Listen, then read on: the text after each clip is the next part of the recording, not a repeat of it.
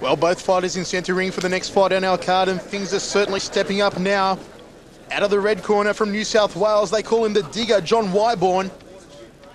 And from the blue corner, the man they call the Sting from South Australia, Paul Slowinski.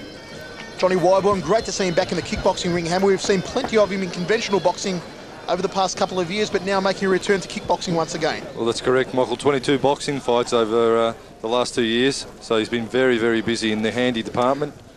And uh, you can bet he's going to be switched on when it comes to the handwork. But he's got some nice kicks too. He's very unorthodox type fighter, Johnny Wyborn, in the white shorts there to the left of screen. Have a look at uh, his rangy techniques.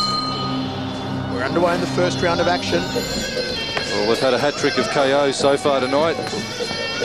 Will the trend continue? That's the question. They've been stunning KOs at that. Certainly. Paul Slowinski, beautiful kicking combinations early on there from the Sting from South Australia. Nice right uppercut there from John Wyborn.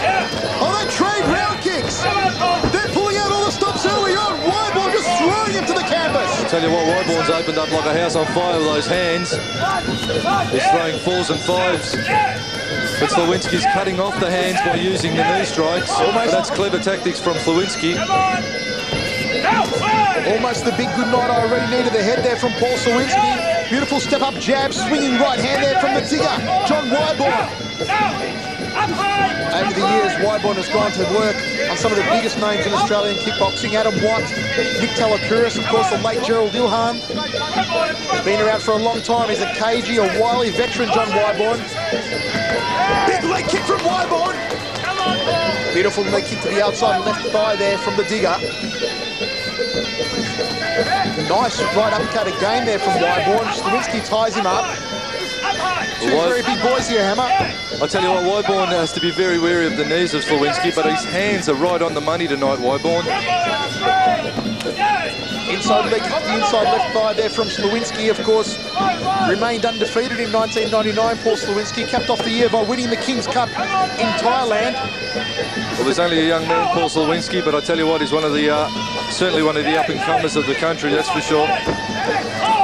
Paul Slowinski looks a little bit overwhelmed here in the first round by the punching power of John Wyborn. Where's a nice left hand over the neutral corner? A big right hand from Wyborn. Wyborn on a demolition mission here in the first round. Well, Slowinski's got to keep his hands up. He's dropping his hands dangerously low. The right hand again there from Wyborn and a cut open on the eyebrow of John Wyborn. That could be some concern for him, Hammer. Blood will start to trickle into that eye. Oh, he's a nuggety fighter, Wyborn. That won't worry him too much.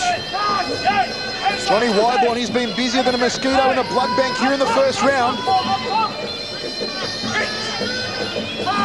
Slowinski's going to have to keep his guard very, very tight, keep his hands up, because Wyborn has got those rocket sharp gloves of his that are going to be working overtime. Kick there the Sting, Paul. Plenty of instruction being yelled in the corner of Slowinski from trainer Alan Wong. You're right, Michael, that left eye of Wyborn is not looking particularly good. And you can see Slowinski setting up for the knee to the head. Wyborn's got to keep upright. 10 seconds to go in this round. High left knee there from Paul Slowinski. You can see him just chambering Wyborn's head out to the side, out to the left. So he's going to rocket up that left knee. As we go to the towels, Hammer, just have a look at the bloodied face of John Wyborn. And what a hell of a first round. Ooh. Slowinski certainly been rattled with hands, but Wyborn has to be wary of those knees of Slowinski.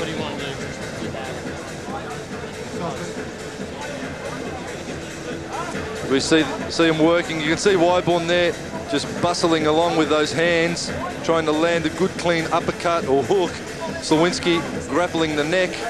There's a nice sharp rear hand coming out from Wyborn, just missing. But Slowinski, you see him get the grapple on there, hooking the back of Wyborn's head, taking the balance, and then he's trying to get a knee up to the face to finish the fight. But uh, Wyborn, very tough customer, is not going to make his job easy as they square off again. Wyborn just missing with the hand, the hand techniques, going to the body. Slowinski again going for the grapple. Just trying to chamber out Wyborn's head to the side in order to open it up and knee to the face. Having just pulled that out of the Stop. yeah? No, I don't open up an oh, look, look, mate. Also, even if it wasn't cut. He was getting Dr. his Peter Lewis right in the corner there. face. Oh, it's going to get cut all over. Oh, How's, how's your nose? no problem. Not hurt? It was already It was ugly already, wasn't it? No, so uh, no problem. No worries. I say thanks, John. Well, the fight being called off now by the ringside physician, Dr. Peter Lewis. Just too much blood flowing into the eye there of John Wyborn. That's a real pity, Hammer. Well, Wyborn's eye, certainly that's a very, very bad gash, and I'd say that was opened up probably from a knee strike. The knee, obviously, very bony part of the, the body, striking above the brow, which is also bone. Those Ladies will gentlemen, the winner also always end up nasty. In the blue corner from South Australia, Paul the Sting Zalowinski.